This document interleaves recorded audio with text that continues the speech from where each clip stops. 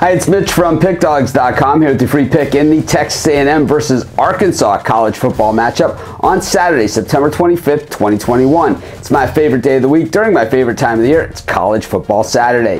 Here on YouTube, I do free pick videos on all the games every day, so be sure to subscribe to our channel, get my take on all the day's action.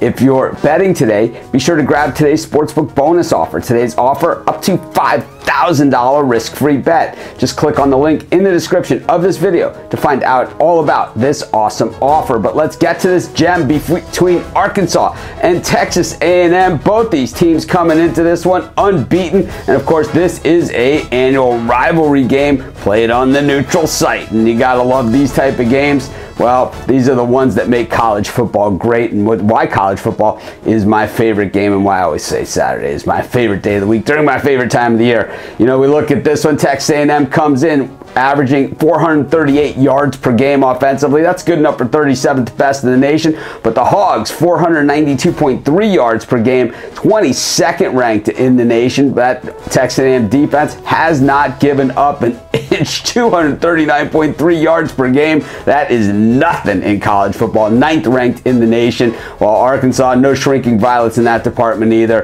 18th ranked defense in the nation. Both these teams just lights out against the pass this year. Texas A&M, number one in the nation against the pass, allowing just 77 yards through the air per game. But on the rushing side of the ball, they've allowed about 160 yards per game, about almost 87th-ish in the country. So uh, not quite as good against the run, but that Arkansas defense, 12th against the pass, 55th against the run. Yeah, I mean, this is just, they really stack up well, the Hogs, this year against the Aggies. When we look at this, the trends, well, for this game, all the trends are positive for both teams.